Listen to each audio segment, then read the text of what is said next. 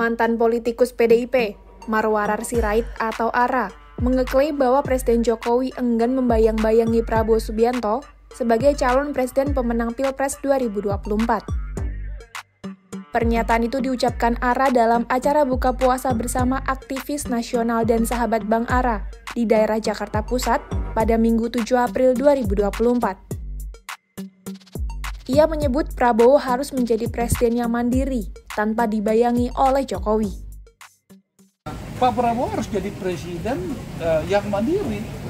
Pak Jokowi juga tidak mau uh, apa namanya uh, apa namanya uh, uh, membuat Prabowo jadi baik-baik itu itu nggak benar. Ya.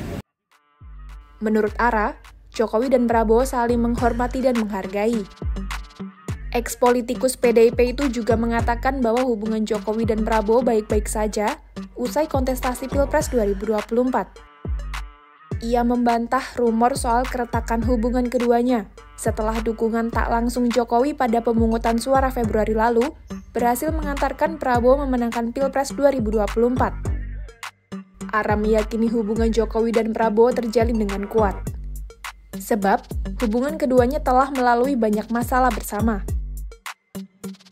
Bahkan, Jokowi dan Prabowo pernah menjadi rival sengit pada Pilpres 2014 dan 2019 sebelum memutuskan untuk bekerja sama pada pemerintahan 2019 hingga 2024.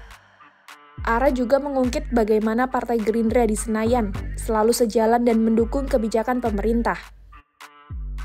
Bahkan ia menilai gugatan sengketa Pilpres 2024 terhadap kemenangan Prabowo Subianto Gibran Rakabuming Raka oleh kubu paslon 01 Anies Baswedan Muhaimin Iskandar dan kubu 03 Ganjar Pranowo Mahfud MD dianggap sesuatu yang semakin mengukuhkan relasi Jokowi Prabowo.